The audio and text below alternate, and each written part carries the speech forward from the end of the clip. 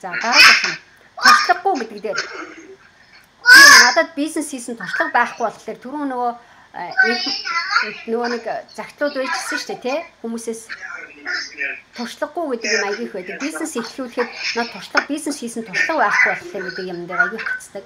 Тэрэн дээр хариулт өгөх хүн байна уу?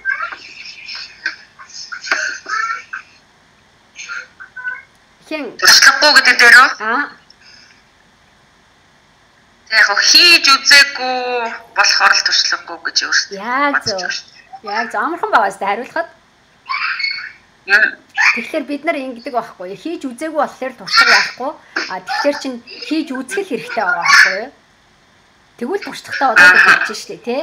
Хийсэн хүмүүс л туршлагаждаг. Туршлагагүй гэдэг нь гээд хийхгүй бодод би туршлагагүй хിവэрэл үлдэн штэ. Тий?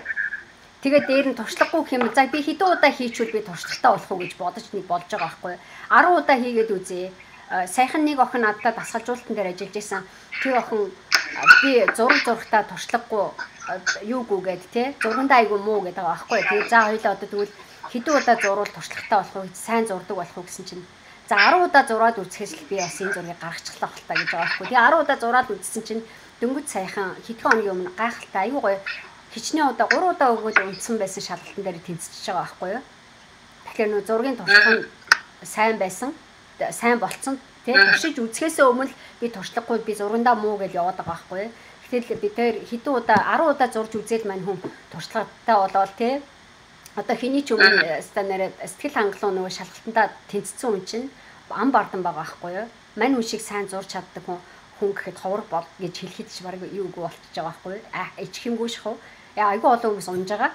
Тэгтэл айгүй ховорхон тэгэж юу яаж байгаа байхгүй юу? Тэ? Тэгэхээр бид нар туршиж үзье. Би туршааж үзье. Хэдэн удаа хийвэл би туршлагатай болж чадах уу? А ямар туршлага надад хэрэгтэй вэ?